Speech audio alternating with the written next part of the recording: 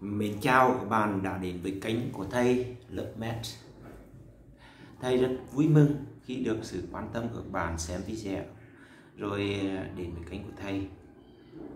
Hy vọng rằng kênh của thầy là một người bạn mà à, một người bạn hữu ích giúp các bạn trong vấn đề học tập môn toán đem lại sự đam mê học toán. Lớp Med là yêu toán các bạn nhé, đam mê toán học nói với các bạn rằng cái học cái gì mà có đam mê thì các bạn học rất khỏe. Và các bạn sẽ vượt qua những cái khó khăn, những cái trắc trở. Và bạn sẽ biến những cái trắc trở khó khăn đó thành những cái chướng ngại vật và thúc đẩy mình phát triển, mình học ngày càng tiến bộ. Học tập phải vượt qua những cái chướng ngại vật, phải vượt qua vượt chướng. Còn cái gì mà trớn, lao lao cái gì những kiểu bạn đã tập sẽ đạp thì bạn đi vài vòng nữa thì cũng thế thôi. Nhưng mà khi bạn chưa biết đi xe đạp mà bạn tập đi lại là vấn đề khác cho nên việc học tập là cái quan trọng là dựa vào vấn đề. Và trên cơ sở những cái vấn đề đó, mình vượt qua những vấn đề đó, nó sẽ phát triển cái năng lực tư duy của mình.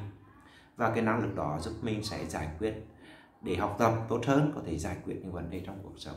Đấy cho đó việc học tập là phải dựa vào các vấn đề. Các bạn nhé. Bây giờ trong một cái tiết học, bây giờ muốn trao đổi các bạn là vấn đề khó hiểu và dễ hiểu. Bây giờ mình dạy những cái giới tâm các bạn giới tâm năng lực các bạn, thì các bạn thấy dễ hiểu và các bạn thì cảm thấy nham chán. Đấy. Cái ví dụ lặp đi lặp lại đối với học sinh khá giỏi thì là nham chán. Để để phát triển năng lực học sinh khá giỏi vì thông qua những bài toán để có thể là khó, để có thể khó hiểu lúc tạm thời đó, và các bạn sẽ vượt cái, qua cái tạm thời đó, bạn sẽ dẫn đến dễ hiểu, và từ đó sẽ phát triển cái năng lực của các bạn lên. Thì đó mới là việc dạy học hiệu quả còn hai dạy học cứ dạy đi dạy làm một bài rồi cuối cùng học sinh cảm thấy dễ hiểu nhưng thực chất nó không phát triển là bao nhiêu. Đấy. cho nên là cái dễ hiểu chưa hẳn là cái tốt hơn cái khó hiểu. Có được cái, cái khó hiểu là tạo động lực để phát triển mạnh mẽ hơn về cái năng lực tư duy các bạn nhé. Cái vấn đề đó. Đấy. chỉ có một số người đòi dễ hiểu.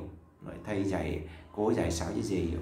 Dạy thấp và dạy thật thì rõ ràng là cái lượng kiến thức, lượng tư duy, hàm lượng tư duy các bạn đạt được là ít. Các bạn có thể khỏe một chút thôi, nhưng học càng nhiều càng thấy nhàm chán. Bởi vì học không nâng cấp tư duy. Chưa thấy được cái hay, cái đẹp của toán học.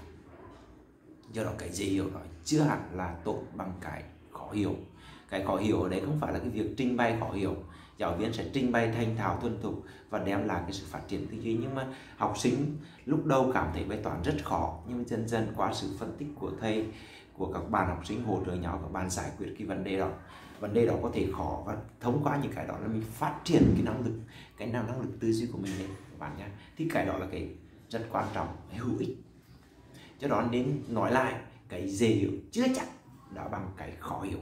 Cái khó hiểu mà phát triển được nhiều hơn đem lại cái đam mê làm cho học sinh thể hiện cái trình, rèn luyện cho học sinh cái trình, kiên trì, chịu khó, phát triển cái năng lực, tạo thành sự đột bại, đột phá mặt tư duy.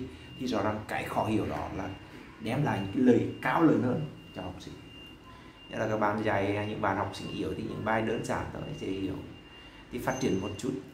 Nhưng sau đó khi học sinh nắm cái cơ bản thì mình phải nâng cấp để phát triển tư duy cao hơn. Chứ học sinh cứ tâm tâm tâm tâm như thế này thì năng lực của em chuột ngay chỉ là trung bình thôi. Em phải vào giải những bài khó hơn, bài toán mới hơn để phát triển, để nâng cao hơn. Đấy. chẳng hạn làm những câu được 7 điểm trong đề thi trung học không quốc gia, bây giờ mình phải làm những câu vần trồng cao để được 8 điểm 9 điểm để phát triển cao hơn. Nhưng trước mắt chúng ta phải là có cái 7 điểm rồi nhé phải có cái sự dễ hiểu rồi nhé đấy thêm mình chia sẻ của bạn, chứ không khi nào là dạy sao cho dễ hiểu, nhưng mà không hiệu quả. Bởi vì không có sự phát triển. Mà dạy học là cái phải hướng tới cái sự phát triển phát triển phát triển.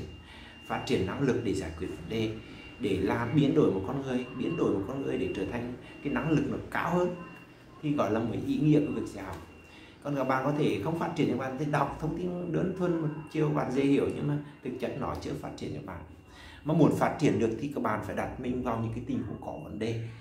Con người chỉ suy nghĩ tích cực khi đứng trước một cái hoàn cảnh của mình. Thôi thúc họ, thu thúc họ, làm cho họ giải quyết vấn đề. Do đó, việc dạy học giải quyết vấn đề là vô cùng quan trọng các bạn nhé.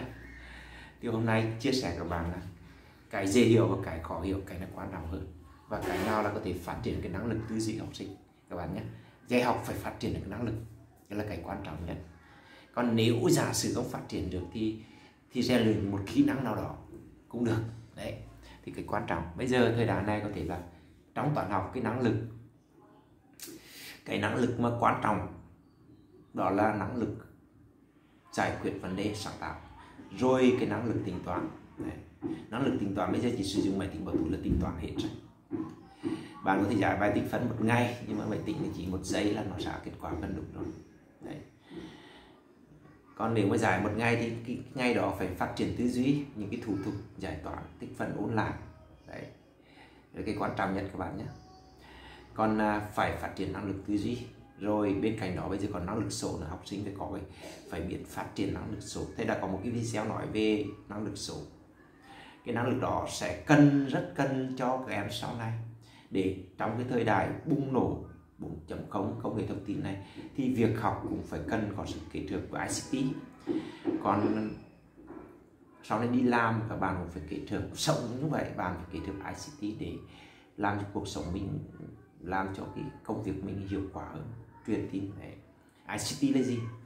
ICT thì các bạn mở mang nó họ sẽ giải thích cái từ ICT thấy cũng cần phải giải thích cụ thể.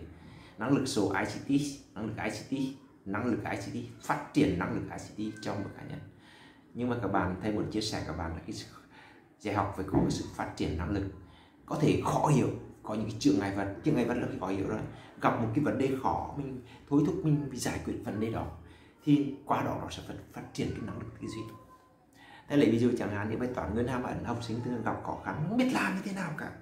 Đấy không phải là phi lực linh viên không đưa cái phương trình vi vật xuống để giải đâu mà cách tiếp cận hoàn toàn sơ cấp phải dùng những cái biến đổi đào hàm phải quý đôi biến đổi đại số trên cơ sở đó nó giải quyết bài toán về nguyên hàm âm ẩn là một dạng toán mà khá nhiều trong kỳ thi trung học phổ thông quốc gia kỳ thi kiểm tra năng lực. Kiểm tra tư duy. Tại sao họ lại kiểm tra cái vấn đề đó? Đó là cái thể hiện cái, cái nét tư duy khi họ kiểm tra. Cho nên cái năng lực số và cái năng lực giải quyết vấn đề năng lực giải quyết vấn đề phải thông qua những cái chuyên đề cụ thể chứ ta không thể nói trên mây trên mưa được. Mà ta phải nói cụ thể thông qua những cái chuyên đề thông qua những bài toán để mình phát triển cái năng lực giải quyết vấn đề. Các bạn nhé. À, cảm ơn các bạn đã theo dõi cái video của thầy. Hy vọng rằng những sự chia sẻ của thầy sẽ giúp các bạn học tập toán được tốt hơn. Chúng ta có một cái định hướng rõ nét trong vấn đề học toán. Tránh cứ lập la lập lơ á tơ mơ rồi lỡ mơ rồi cuối cùng không hiểu như thế nào khi mình cần cố thầy dạy gì hiểu.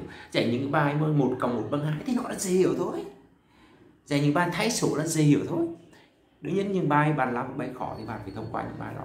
Nhưng phải đi vào những bài tình huống có vấn đề để phát triển tư duy. Nhá tôi cũng chào bạn. Nhớ lái xe sạch nhá hẹn gặp lại các bạn trong chương trình.